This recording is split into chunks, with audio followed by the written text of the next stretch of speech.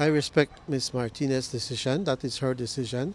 Um, the Belize Athletic Association will, will, will go on. We will have representation at every meet that we're entitled to.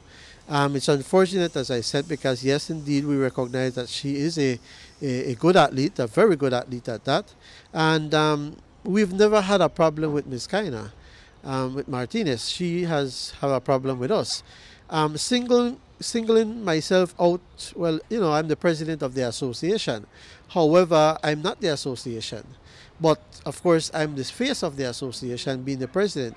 But like I said before, there's no decision that I make without having the input and the resolve of my uh, um, executive members. So I am definitely satisfied with the, the, with whatever decision we made.